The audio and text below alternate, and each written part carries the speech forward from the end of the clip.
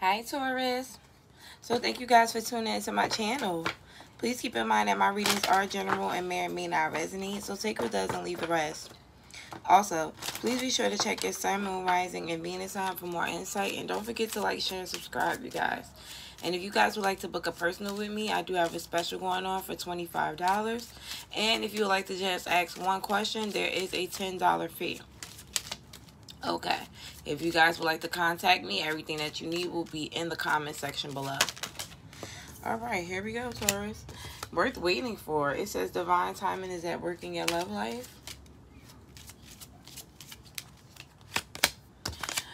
Playfulness. To recapture romance, allow your inner youthful spirit of fun to shine. Deception. It says someone in this situation is wearing a, a false self mask in his relationship. Release your ex. The time has come. Okay. So I feel like this is a situation where you are going to have to let somebody go. Okay. I feel like it's time for you to get back out there and find somebody else. It might not happen right away, but that's fine. It's better than what you've been going through with this person. Okay? So let's see.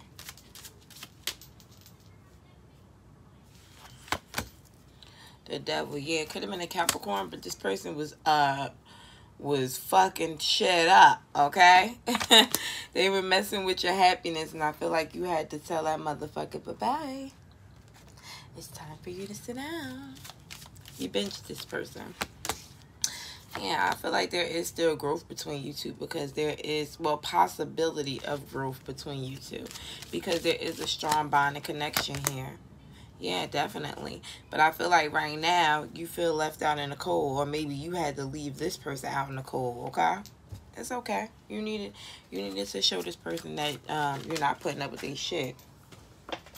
Yeah ten of you have the ten of swords here you you tried to end it or you're ending it with this person because of some shit that they did but you're and then on top of that you acting like everything is okay but you laying here this this i don't even want to talk about it. You're trying to act like everything is okay all right but deep down inside you're hurt and i feel like this person is hurt too. Yeah but there was too many mind games and manipulation here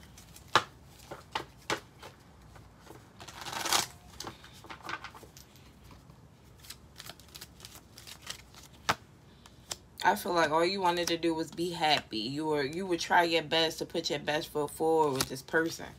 Constantly feeling stuck. It's like you rush in, you do what you have to do. You probably cater to this person. Try to try to show them as much love as you possibly could. And at the end of the day, you would still feel like you wasn't getting no fucking where. Yeah.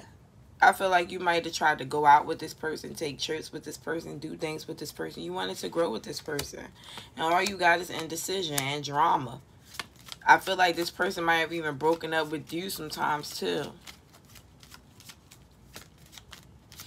You guys both are marrying each other right now with this breakup because you you guys both feel like it's a connection here, but you guys also feel like it's toxic. Okay, and right now it's stagnant. But there's still a lot of fucking love here. You guys just both in your head and acting cold and detached from each other. Yeah, Six of Pentacles, wanting to still give to each other, but walking away at the same breath.